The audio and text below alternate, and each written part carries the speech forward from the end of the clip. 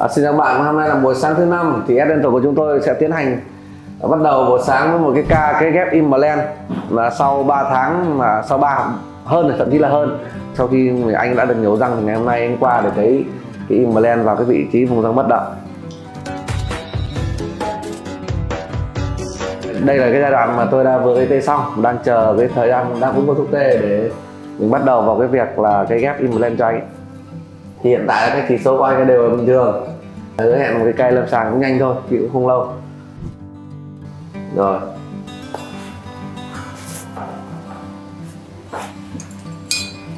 Mình vừa gây tê rồi. Ừ.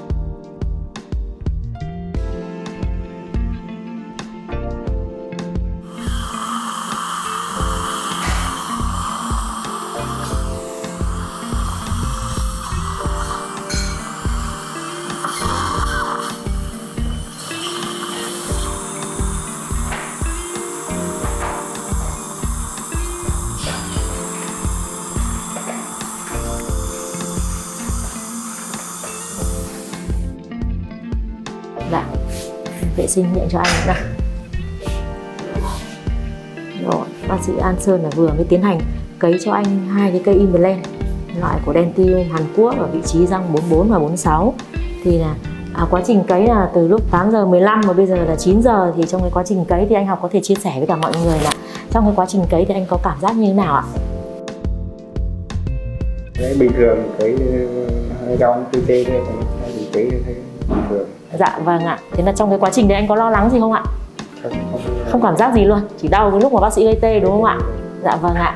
À, vâng thưa các bạn, ạ bác sĩ An Văn Sơn vừa mới tiến hành cấy cho anh Trần Văn Học implant cái răng 44 và 46.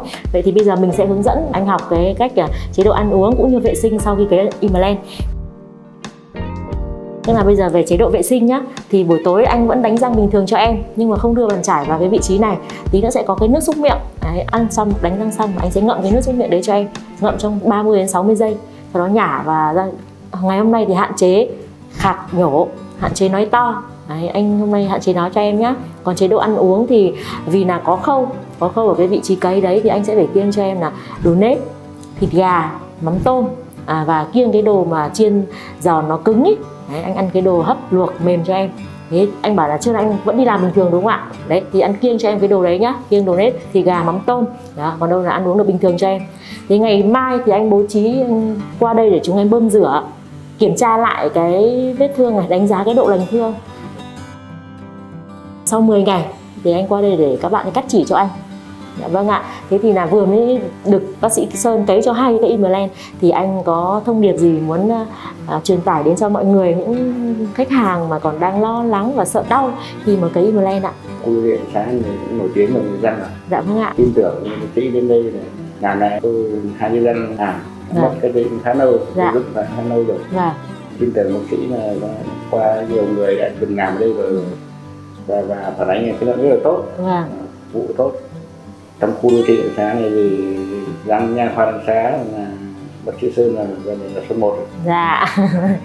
dạ vâng vâng rất là cảm ơn anh, cảm ơn anh đã tin tưởng và đồng hành cùng nha khoa. ạ.